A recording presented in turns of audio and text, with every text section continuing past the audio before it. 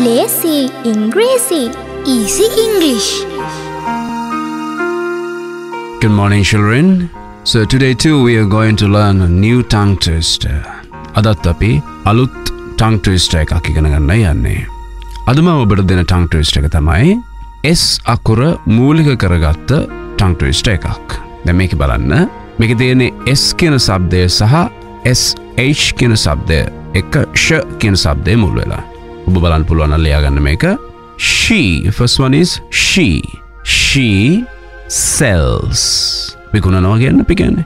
She sells seashells සිප්පි කටු වලට කියන්නේ. Seashells එතකොට බලන්න. She sells seashells on the seesaw.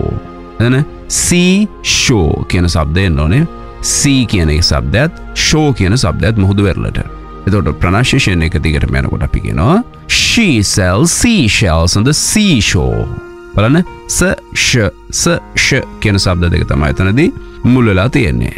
ලියාගන්න පුළුවන් නම් බලන්න පළවෙනි එක she ඊට පස්සේ sells ඊට පස්සේ එන්නේ මුහුදට කියන වචනේ sea ඊට පස්සේ සිප්පි කටු වලට කියන වචනේ shells කියන. එතකොට මුහුදේ අපි seashells කියලා කිව්වහම සිප්පි කටු කියන අර්ථය එතෙන්ට එන්නේ. එතකොට she sells sea shells on the seashore seashore අපි වේගෙන් කියගනියොත් අපි කියන්න පුළුවන් she sells seashells on the seashore කියලා.